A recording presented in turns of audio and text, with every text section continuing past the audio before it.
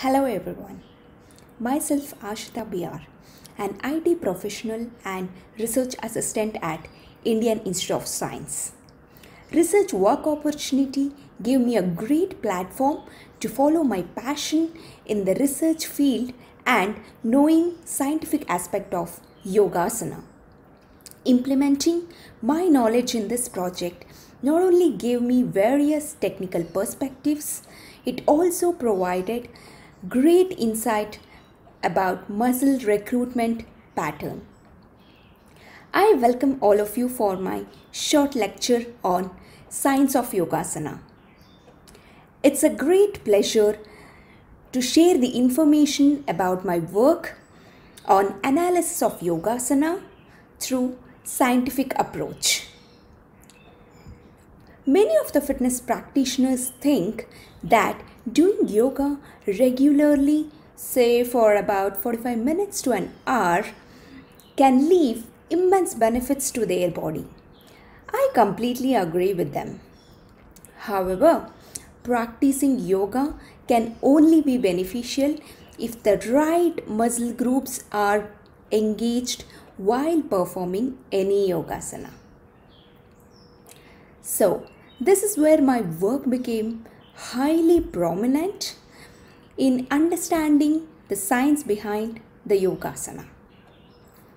Eminent people who poured inputs to my work are Dr. Ramesh Debur, Associate Professor at MS Ramaiah Medical College, Bangalore, and Dr. S.N. Omkar, Chief Research Scientist at Department of Aerospace Engineering, Indian Institute of Science, Bangalore.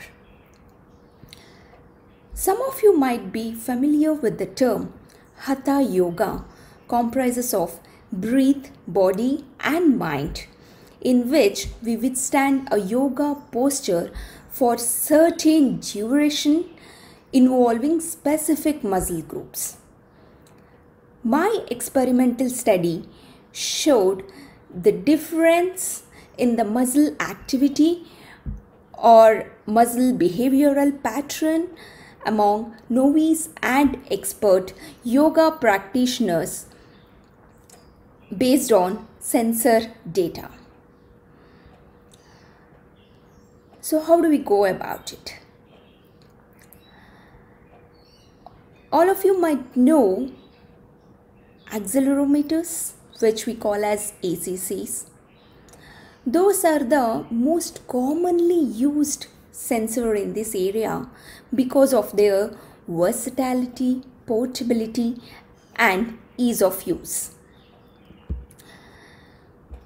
But what happens with ACC sensors? So, ACC signal features are used to distinguish between relative motion of body parts for each transformation pose to analyze the smoothness with which the exercise was performed. Although ACC's data are effective in differentiating static activities such as sitting and standing from remarkably dynamic movements. Uh, for example, it could be jumping, running, dancing, etc. There are limitations in differentiating an active and a passive performance of a movement. On the other hand, we have surface electromyography, that's SEMG sensors are very sensitive to the uh, muscular activity and thus it actually helps in differentiating the active movement from a passive one. So this is the key advantage in using SEMG sensors. So now coming to our experimental study, the yogasana chosen named was Trikonasana or a triangle pose for comparative analysis based on SEMG and ACC signals from an expert. So, how did we choose the expert?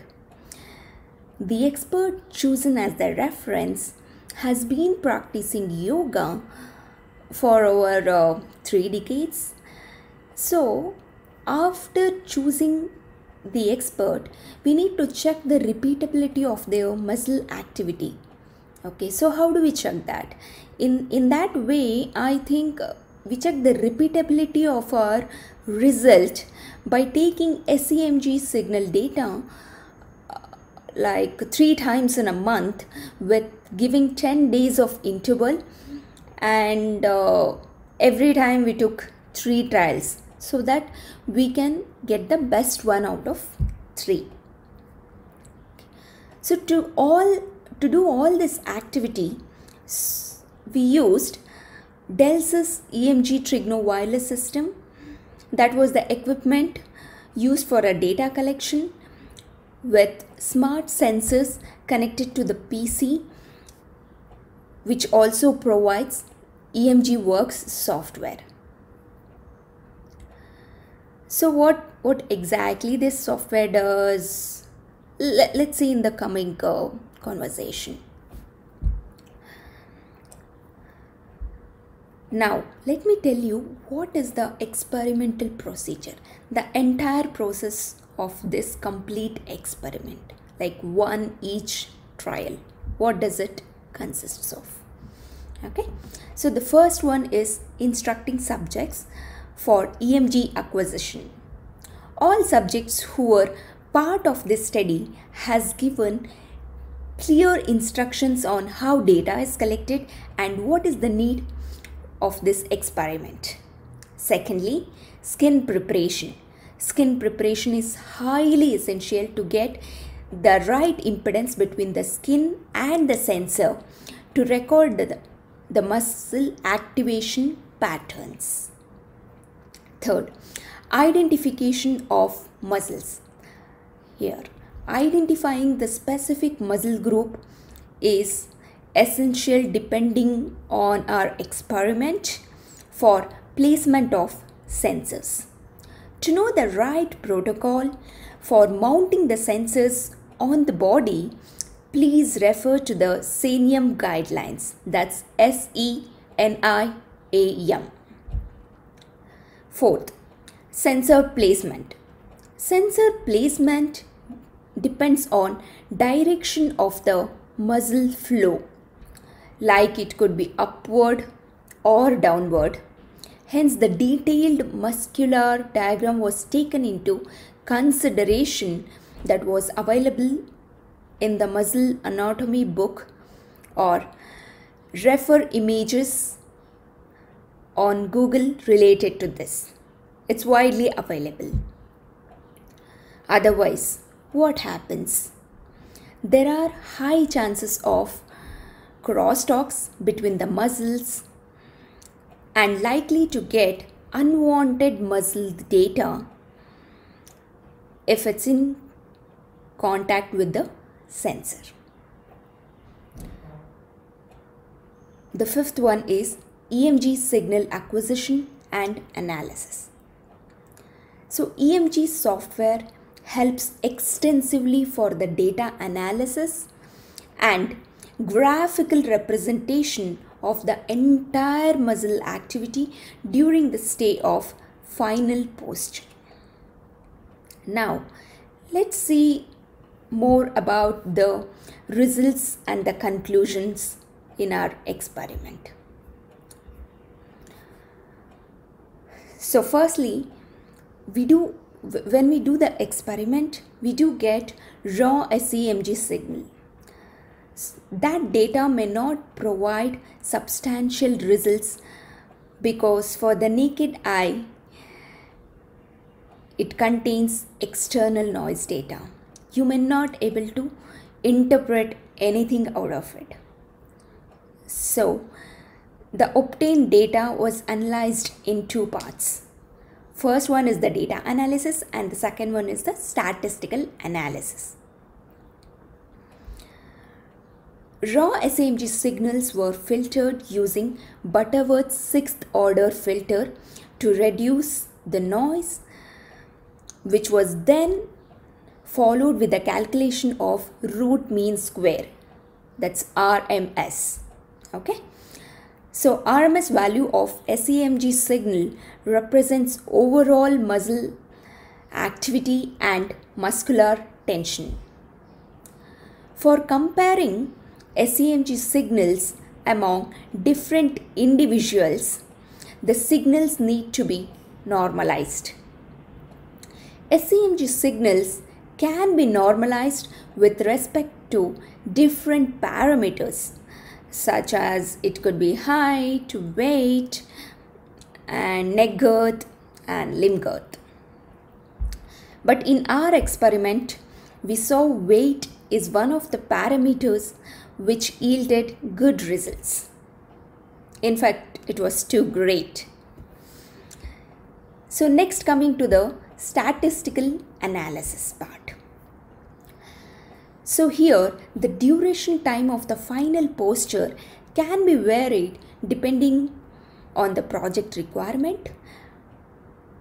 But here we took 20 seconds of hold time which was sufficient for us to observe the muscle activation pattern. Finding slope was the major thing to prove results mathematically based on values for interpreting the muscle effort applied. Constant amplitude suggests that individuals maintained the asana in steady and stable state because these are the main characteristics of a correct posture. So let, let's speak about more on these slope values. If the slope is greater than 0, that indicates the amplitude of muscle firing is increasing with time. If the slope value is minus 1 or less than 0, it indicates the amplitude of muscle firing is decreasing with time. And finally, if it is 0, indicates that the muscle effort is constant. The amplitude in the graph varies from person to person based on how strong or weak the muscle is. So, for a similar body movement, a person with strong muscle generate SEMG signals with higher amplitude than that of a person with weak muscles. Mean amplitude of SEMG was taken to find the percentage of muscle activation while performing Trikonasana to the left and to the right side of the body. Muscle recruitment pertaining to the asana was not stable during the hold of the final posture in novices, whereas the muscle was expected to be in active state. The expert seems to be able to optimize the muscle recruitment at right time and amplitude. This could reflect the learning patterns of the brain in optimizing the muscular activity during yoga, keeping in mind the energy conservation principle. The stability of the muscle recruitment reflects the ability of the nervous system to sustain a contraction at optimal levels for the duration of asana. Hence, slope of the best fit line is a good metric for monitoring muscle activity during yoga performance. This is a valid method for distinguishing novice from expert. Hence, it can be extended for analyzing other asanas as well. This project aimed to study the mechanics of yoga both from a biomechanical as well as motor control point of view has succeeded in laying a foundational framework for future research work in this area. Thank you, one and all, for listening to my lecture. For more details or more information about this, please contact me via my email address ashitha.br at the rate gmail.com.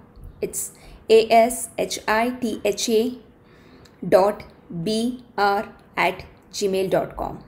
Thank you.